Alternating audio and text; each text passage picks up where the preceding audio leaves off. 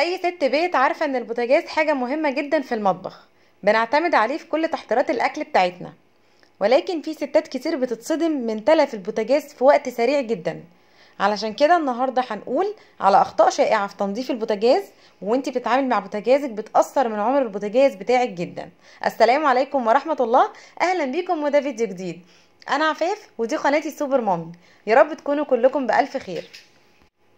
لكن لو أول مرة تشوفيني والفيديو ده عجبك انزلي تحت الفيديو اعملي like وكمان اشتركي في القناة من الزرار الأحمر اللي تحت الفيديو على الشمال.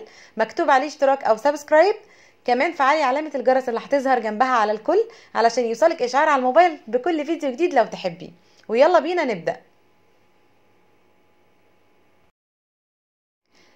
الخطأ الأول الشائع في التعامل مع البوتاجاز اللي بيخلي البوتاجاز يبوظ منك بسرعة هو اختيار مكان سيء للبوتاجاز. أكيد وضروري إنك تختاري مكان كويس للبوتاجاز بتاعك يكون في مكان تهوية كويس وكمان يكون جنبه شفاط عشان يشفط الدهون والأبخرة من البوتاجاز. يعني أساسا إنك لازم تحطي البوتاجاز يكون جنب الشفاط جنب الشباك وتكون مكان تهوية كويس جدا. يعني مثلا ما ينفعش تحطي البوتاجاز بتاعك جنب حوض المواعين علشان طرطشة المية دي ممكن تسبب لك مشاكل كتير خصوصا وقت القلي مثلا زيت مع مية ممكن تعمل مشكلة صعبة. كمان حوض المواعين وجوده جنب البوتاجاز هيبوظ السلس البوتاجاز جدا. ده دايما هيجي عليه طرطشة من المية وانتوا عارفين طبعا المكان بتاع الحوض ده بيبقى دايما مبلول على طول. كمان ابعدي البوتاجاز بتاعك عن الغسالة والتلاجة. اولا لسهوله الاستخدام بتاعة الغسالة أو التلاجة لأن في أبواب بتتفتح فمحتاجين ليها مساحة ما يكونش جنبها حاجة تضايقك. ثانيا إن لو البوتاجاز جنب الغسالة أو التلاجة هيتملوا دهون جدا وهيبقى صعب تنظيف إن انت تتابعي تنظيفهم كل يوم مثلا إنك تنظفي البوتاجاز وتنظفي التلاجة أو الحاجة الموجودة جنب البوتاجاز. فبوتاجازك لو انت لسه بتأسسي مطبخ جديد أو لسه عروسة أو بتنقلي في شقة تانية غير الشقة اللي انت فيها فتاخدي بالك من مكان البوتاجاز يكون في مكان كويس ومكان مظبوط. مكان يكون فيه تهوية يكون جنب الشفاط ما يكونش جنبيه ولا فوقيه. دولاب ألموتيل ولا مطبخ خشب سواء كان ايا كان فيهم يعني وما يكونش كمان في وش الباب بالظبط. ده كان أول خطأ شائع بيتلف البوتاجاز بسرعة جدا. هو اختيار مكان خطأ للبوتاجاز. الخطأ التاني تنظيف العنيف. تنظيفك المستمر طبعا للبوتاجاز من غير إفراط في المنظفات الكيماوية طبعا. بنستخدم سلك نسلس ساعات أو سلك خشن ده بيخربش سطح البوتاجاز جدا ويخلي بوتاجازك رغم إنه لسه جديد وانت لسه عروسة إلا أنت سطح البوتاجاز يبقى مخربش وشكله قديم جدا لأنك تستخدمي سلك ستانلس على إنه بينظف قوي ولكن هو بيخربش سطح البوتاجاز جدا. خدي بالك قوي من الحاجات اللي تستخدميها على سطح البوتاجاز سواء كانت منظفات أو أدوات خشنة ممكن تبوظ البوتاجاز وتخربشه بسرعة. كمان استخدامك للمنظفات الخطأ بيعتبر طبعا من التنظيف أو المعاملة العنيفة جدا جدا مع البوتاجاز. كام واحدة فينا استخدمت منظف خطأ وبوظ البوتاجاز بتاعها. طبعا عايزة أقول لكم إن كتير مننا هيكتب لي تحت في التعليقات دلوقتي إن أنا استخدمت باور وبوظ البوتاجاز. استخدمت سيترس وبقع البوتاجاز. استخدمت منتج الفلاني وبوظ البوتاجاز خالص ومش عارفة أرجعه. العيون جنزرت وصدت ومش عارفة أرجعها تاني جديدة. ويبقى لسه بوتاجاز الجديد ما لحقتش تستخدميه ولا لحق يبوظ ولكن بتستخدمي منتجات خطأ في التنظيف. فلازم قبل ما تحطي أي حاجة على البوتاجاز تشوفي هل ده ينفع أصلا إنك تستخدميه خاص بالبوتاجاز ولا لأ لأن ممكن هو منتج تنظيف آه ولكن ما ينضفش هو يبوظ. طب إيه الحل؟ الحل إنك تنضفي البوتاجاز أول بأول. صدقيني مش هتحتاجي خالص منظفات ولا أي حاجة خالص. بإسفنجة ناعمة علشان طبعا ما نخربش السطح. طبعا الحوامل ليها معاملة خاصة تانية خالص هنتكلم عليها برضو. ولكن سطح البوتاجاز يعني ممكن المنتج اللي انت بتستخدميه للحوامل ما ينفعش للبوتاجاز. وده طبعا حصل معانا كتير جدا وهقول لكم دلوقتي إيه اللي حصل بالظبط. المنتج اللي هو اسمه سيترس. طبعا عارفين إن منتج سيترس ده بينضف جدا وبيزيل الدهون بصراحة وهو منتج حلو قوي. أنا ما بقولش عليه حاجة. بستخدمه في فرن البوتاجاز. حلو جدا. بحطه على الحوامل برضو تمام. بستخدمه أوقات لتنظيف السيراميك أو الالوميتال برضو تمام. ولكن بيبوظ سطح البوتاجاز وبيبقعه. ما تقوليليش إزاي؟ أنا اكتشفت ده بعد ما استخدمته مرة والحمد لله ما كنتش لحقت أحط كتير لقيته مبقع السطح جدا. يعني بقع واضحة قوي. إيه لو انت عملتي كده ما تقلقيش هو هيروح بعد فترة بس شوية يعني. بعد الاستخدام المتكرر في التنظيف هيروح شوية وهيقل ولكن ما تستخدميش سيترس على سطح البوتاجاز خالص. هتلاقيه عمل لك بقع كده وعلامات فيه فما تستخدميهوش. فانت لازم تتأكدي الأول من ان المنتج اللي هتستخدميه يصلح للبوتاجاز ولا لأ.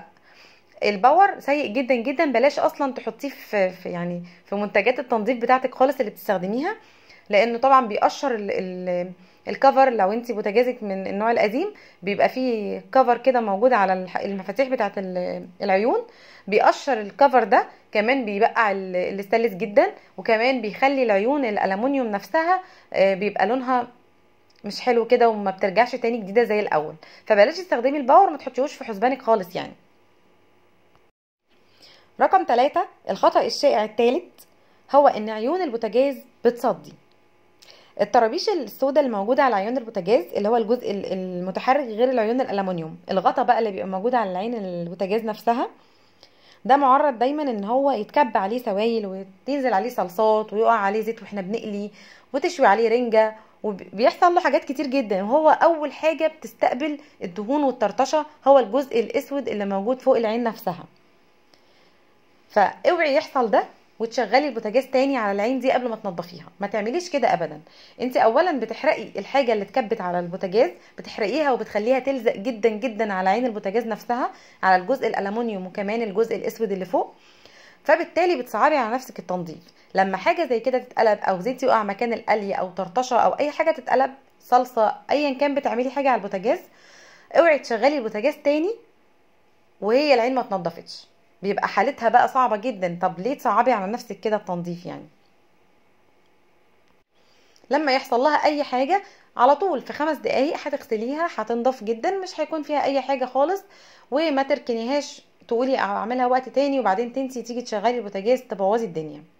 كمان في حاجة مهمة جدا بتسبب صدى اللي هي العيون اللي موجودة فوق الجزء الالومنيوم بتاع البوتاجاز هو إنك لما بتغسليها مش بتنشفيها ده يعني عدم التنشيف بيخليها تصدي بسرعة جدا. ركنة المية عليها فترات طويلة هتخليها تنزل اللي هو الجزء الأجزاء الصفراء اللي بتنزل ديت الباودر من من الصدى كمان هيخليها تبوظ بسرعة كمان هيخليها تتآكل بسرعة. كمان قلة تنظيفها بتخليها لما الأكل يتحرق عليها كل شوية ويحصل لها يعني حوادث كده وانت بتطبخي وتسيبيها كل ده ويتحرق عليها كل ده هيسبب إن هي تتاكل وإن الحرف بتاعها واحدة واحدة كده تلاقي الموضوع بقى صعب جدا فيها. فتتنضف وكمان تتنشف كويس جدا بعد التنظيف. كمان في حاجة مهمة جدا إنك تظبطي الجزء الأسود ده اللي موجود فوق العين الالومنيوم علشان ده لما بنحطه بعد الغسيل والتنظيف ممكن ما نكونش ظبطناه كويس في مكانه فتيجي تشغلي عين البوتاجاز ما تشتغلش. طبعا ده بيحصل معانا كلنا. تضطري تقعدي تعدلي فيها تاني. فخدي بالك إنك لما تحطيها علشان ما تفتكريش إن البوتاجاز فيه مشكلة أو حاجة إنك لما تحطيها تعدليها لأن هي لو مش معدولة في مكانها كويس البوتاجاز مش هيشتغل أصلا. الخطأ الشائع رقم أربعة الأزرار بتاعه البوتاجاز بتاعه المفاتيح إنها تبوظ سواء بالكسر أو بالدهون. كلنا بننضف البوتاجاز طبعا وبننسى ننضف الزراير بتاعه المفاتيح. ده بيحصل لنا كلنا وأنا أولكم. لما تلاقي بعد فترة المفاتيح أساسا بقت ملزقة جدا من الدهون عليها بقع صفرة كتير من الدهون اللي نشفت وطرطشت كتير عليها وإحنا بننسى ننضفها ننضف الحوامل وننضف سطح البوتاجاز وننضف العيون ولكن بننسى المفاتيح. كمان دايما معرضة إنها إن انت تمسكيها وإيدك مش نظيفة وده وارد جدا في أي مطبخ وأي ست بيت إنها ايديها ما تكونش نظيفة وتفتح عين البوتاجاز أو تشغل البوتاجاز أو تمسك المفاتيح دي من غير ما تكون إيدها نظيفة. فده طبعا كل ده بيتكوم على بعضه وبيتراكم وفي الآخر تنسي كمان آخر اليوم تنضفيها هيبقى بصراحة شكلها صعب جدا. فده يخليها تتعرض للدهون فشكلها يبقى بايظ قوي مش حلو خالص. أو إنك بتتعاملي معاها بعنف ومع كثرة الاستخدام يعني فتكسريها. أو تيجي تحاولي بقى بعد يعني دهون كتير عليها إنك تنضفيها فتقرري تشيليها من مكانها أصلا وهي في بوتاجازات كتير وخصوصا اللي هي الأمان الكامل دلوقتي بتبقى محتاجة ضغطة غريبة كده علشان تطلع ممكن تتكسر في إيديكي. فمن الأول المحافظة بتخلي الموضوع أسهل كتير جدا وبتخليكي يعني ما تاخديش ولا وقت ولا مجهود في تنظيف الحاجة نفسها. جربي كده وهتلاقي فعلا النتيجه حلوة جدا. يبقى ما تنسيش كل يوم وانت بتنضفي البوتاجاز انك تمسحي العيون كمان مكان الطرطشة والزيوت ومكان مسكة ايديكي في الازرار الزراير بتاعت البوتاجاز. رقم خمسة وده خطأ شائع جدا وبيحصل في أكتر البيوت ما تستخدميش آلة حادة أو سكينة مثلا في إنك تشيلي بقايا الأكل اللازقة على سطح البوتاجاز. الخطأ ده كلنا بنقع فيه. هتقعي فيه إمتى؟ لما تهملي سطح البوتاجاز بتاعك يعني أيام كتير وتسيب الأكل ينشف ويلزق وينشف وصلصة وتتكب وزيت يتكب وينشف ويلزق وبقع كتير على البوتاجاز. تيجي بعد كذا يوم بقى لما خلاص قررتي إنك تنضفي البوتاجاز تيجي تلاقي الموضوع صعب جدا. إيه ده؟ ده كل حاجة لازقة ده كل حاجة مش بتطلع ده ال sponge حتى العادية مش بتطلعها ده كمان السلك مش بيطلعها. يبقى أنا محتاجة إن أنا أحكها أو أو يعني أدعكها بحاجة أو يعني أزق فيها بحاجة علشان تطلع من البوتاجاز فطبيعي إن انت هتلجئي للحل ده. ده خطر جدا وخطأ قوي لأنك انت بصراحة هتبهدلي سطح البوتاجاز مش هتنضفيه. فما تحكيش أي حاجة في البوتاجاز على الناشف ولا بآلة حادة. طب إيه الحل؟ الحل إنك تستخدمي منتج لإزالة الدهون بتاعة يكون مخصص طبعا للبوتاجاز. بعد ما تتأكدي إن هو صالح للاستخدام على السطح يعني في زي ما قلت لكم في منتجات بينفع نستخدمها على البوتاجاز مثلا على الفرن أو الحوامل ولكن ما ينفعش نستخدمها على السطح اللي زي سترس مثلا. مع رغم إن فعاليته قوية جدا وأنا استخدمته كتير في الفرن وبقع الفرن وبيطلعها ولكن ما تستخدموش على السطح ابدا. فاستخدمي منتج صالح للاستخدام على سطح البوتاجاز رشيه استني خمس دقايق هيبوش كل الحاجات الموجودة على السطح لميها بمناديل مطبخ الأول. بعد كده ابدأي استخدمي سبونشة وبريل وسلك عادي. يكون سلك مواعين ناعم. لكن إنك تستخدمي برضو سبونشة المواعين أو فوطة بتاعة المطبخ تمسحي بيها الأكل وعلى طول مكان التنظيف بصراحة هتبوظيها جدا يعني هتبوظي الاسبونشة لازم تترمي لأن هيبقى عليها بواقي أكل كتير طالعة بمنظف ببواقي الأكل في الاسبونشة فصعب قوي إنك تستخدميها تاني في المواعين لأنها هتلم بكتيريا كتير. مهما نظفتيها مش هتعرفي تنضفي منها بواقي الأكل. فمن المستحب كده زي ما أنا بعمل دلوقتي إنك ترشي منظف تسيبيها شوية تبوش. بعد كده ما تحكيش بأي حاجة. استخدمي مناديل امسحي بيها ودعكي كويس وبعد كده اغسليه الغسيل العادي اليومي. مفيش أي مشكلة. بلاش تستخدمي فوط المطبخ ولا الاسبونشات بتاعت المواعين إنك تغسلي بيها البوتاجاز وتحطيها على طول على بواقي الأكل وتطلعي كل البواقي في الاسبونشة أو في الفوطة. الخطأ الشائع رقم ستة وأعتقد إن يعني يمكن سبعين في المية من البيوت بتقع في الخطأ ده. هو استخدام الورقة اللاصقة بتاعت الغطا بتاع البوتاجاز. يعني بصوا عايزة أقول لكم إن الموضوع صعب جدا. بتحطي الورقة بتاعت اللي بتلزق على باب على الغطا بتاع الفرن الغطا بتاع البوتاجاز من فوق. بتحطي اللزقة دي وبعدين بعد فترة بتماشي بت... بتروح عليها الدهون والطرطشة وبتلم كل الطرطشة بتاعت الدهون عليها. ولكن بتيجي تشيليها بتسيب أثر على السطح بتاع الازاز وبتقعدي بقى تقعدي تسألي على الجروبات بقى أشيل اللزقة إزاي؟ وتكتبي على اليوتيوب أشيل اللزقة إزاي؟ طب وليه؟ أنت لو أخدتي دقيقة واحدة من وقتك كل يوم بعد القلي والطرطشة والبهدلة بتاعت كل يوم تمسحي الإزاز ده مع سطح البوتاجاز. مش هتاخدي أي وقت خالص ومش هتاخدي مجهود ولكن أنت بتنسيها. يعني كتير جدا الباب بتاع البوتاجاز ده أو الغطا برضو بيتنسي زي المفاتيح بتاعة الزراير بالظبط. فبلاش تستخدمي الورقة خالص. أنا مش بحبها خالص وعمري ما استخدمتها الورقة دي ولا مرة. ولكن تحلي المشكلة دي إن انت بتقولي إن الورقة بتلم الدهون والطرطشة. حلي المشكلة دي إنك امسحي الإزاز كل يوم بعد ما تخلصي. يعني مش هياخد منك وقت خالص. إنك لو مسحتيها كل يوم مش هيكون عليها دهون لازقة ولا بقع صفرة من الدهون ولا هيتراكم عليها أي حاجة خالص. الخطأ الشائع رقم سبعة هو استخدام أواني غير مناسبة لكمية الأكل. بمعنى إن أنتي بتحطي مثلا في حلة تاخد هتعملي مثلا بسلة أو هتعملي أي حاجة فيها صلصة. بتحطي مثلا في حلة تاخد كمية بسيطة جدا من البسلة تحطي فيها أو الخضار أي خضار بتعمليه تحطي فيها كمية كبيرة. وتسيبي مثلا المسافة الباقية حبة صغيرين. تيجي أول ما تغلي تبتدي تفور وتطرطش وتبهدلك البوتاجاز. استخدمي دايما حلة أكبر من كمية الحاجة اللي بتعمليها. ده حلو جدا هيخليكي البوتاجاز ما يطرطش حتى لو بتسلقي مكرونة. أنا دايما أستخدم حلة أكبر حتى لو هعمل نص كيلو مكرونة بستخدم مش الحلة اللي تاخد نص كيلو أستخدم الحلة اللي تاخد كيلو.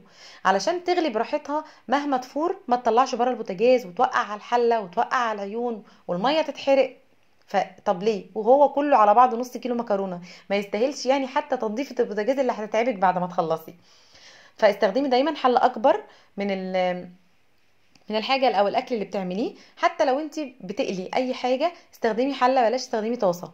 أنا من وقت ما بقيت أستخدم الحلل حتى لو الحلة مش متغطية مش بتطرطش خالص مش بتبهدل الدنيا سواء بتقلي أي حاجة حتى لو بتطرطش. الحلة بتحميكي إن انت تحمي البوتاجاز جدا إن إن انت ما تتعبيش كمان في تنظيفه بعد ما تخلصي قلي كل مرة.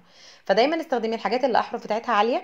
استخدمي دايما حلل اكبر من كمية الأكل اللي بتطبخي فيها علشان ده هيسهل عليكي كتير جدا. وأنا بصراحة من ساعة ما تفاديت الخطأ ده دايما كنت بستخدم الحلل الصغيرة. أحب قوي الحلل الصغيرة والمقاسات الصغيرة. بما إننا يعني الأفراد مش كتير فكنت بعمل في حاجات صغيرة. ولكن اكتشفت إن إن أنا غسيل الحلة الصغيرة هو غسيل الحلة الكبيرة. يعني اللي هيخليني أغسل الصغيرة يخليني أغسل الكبيره عادي مفيش مشكلة. فاستخدمي دايما حلة أكبر ولو انت شايفة ان الفيديو ده مفيد وان الاخطاء اللي أنا قلتها دي انت بتقعي فيها أو في اي حتى حاجة منها حتى لو خطأ واحد يا ريت تحطي الفيديو ده لايك. الخطأ الثامن وهو آخر خطأ هنتكلم عليه النهارده هي فتحات التهوية. ممكن تكوني أول مرة أصلا تاخدي بالك من المكان ده دلوقتي. ممكن تكوني عمرك ما نظفتيه قبل كده. فتحات التهوية اللي بيخرج منها البخار بتاع الفرن دي طبعا بتبقى مكانها اصفرار جامد جدا وغمقان جامد وممكن يوصل لونها لدرجة السواد حتى مش يكون لونها بني مثلا من الدهون. ممكن كمان الجزء ده يكون لونه أسود من كتر الدهون والبخار اللي بيطلع من الفرن. فتحات التهوية دي مهم جدا إنك تنضفيها هتقولي لي مش مشكلة علشان ممكن ينزل فيها مية؟ مش هينزل مية خالص. أنا بنضفها بطريقة سهلة جدا. زي ما أنتم شايفين فرشة سنان نحط عليها المنظف من غير أي مية وطرطشة. بمسح بيها كويس وأدعك بيها الجزء ده كويس. وبعدين ألف منديل على فرشة السنان برضو وأبدأ أنشف. ما فيهاش أي مشكلة خالص. يعني ما تتحججيش وتقولي أنا هبوظ البوتاجاز وهينزل جواه مية. لا خالص. يعني بحرص وبعناية استخدمي فرشة سنان. حطي عليها منظف بسيط. ما فيش أي مية هتنزل ومش هيبوظ البوتاجاز. بقالي يعني 11 سنة بستخدم الطريقة دي في تنظيف فتحات التهوية. والحمد لله ما حصلش البوتاجاز حاجة ولا باظ ولا أي حاجة. ففتحات التهوية مهم برضو إنك تنضفيها اولا هي بتدي شكل سيء جدا جدا لما بتكون مش نظيفة. بصي عليها عندك ركزي إن في حاجة في الجزء ده بتتنضف اسمها فتحات التهوية بتاعه الفرن. انت أصلا الفتحات دي لو عندك زي الفتحات عندي دلوقتي المكان بتاعها يعني واسع كده وينفع تدخلي فرشة سنان تمام. في بقى بوتاجازات تانية الفتحات دي ضيقة جدا لدرجة إن مفيش أي حاجة ينفع تعدي فيها. دي كده خلاص أساسا هي مش هتبان عندك إنها مش نظيفة لأنها بتكون ضيقة جدا جدا. لكن الأماكن الواسعة اللي زي دي يبقى تنضفيها بفرشة سنان وأي منظف عليها مش هيحصل لها أي حاجة غير إنها هتكون نظيفة. كده الفيديو بتاعنا خلص النهارده. تفادي الأخطاء دي مش هيكلفك كتير ولكن وقوعك فيها هيكلفك كتير هيكلفك بوتاجاز جديد. ولو عرفتي الأسعار بتاعت البوتاجازات دلوقتي هيجيلك اكتئاب. فخدي بالك من أي حاجة موجودة عندك مهما كان سعرها مهما كان حالتها نظفيها واستخدميها. وتابعي البوتاجاز دايما هيفرق معاكي كتير جدا. يا رب يكون الفيديو عجبكم ويا ريت لو الفيديو عجبك اضغطي like واشتركي في القناة لو تحبي تشوفي كل الفيديوهات الجديدة. كمان فعلي الجرس عشان يوصلك إشعارات على الموبايل بكل فيديو جديد ينزل. أهلا بحضراتكم جميعا برحب بيكم كلكم. يا رب يكون الفيديوهات بتعجبكم. وأشوفكم على خير إن شاء الله فيديو جديد. سلام عليكم.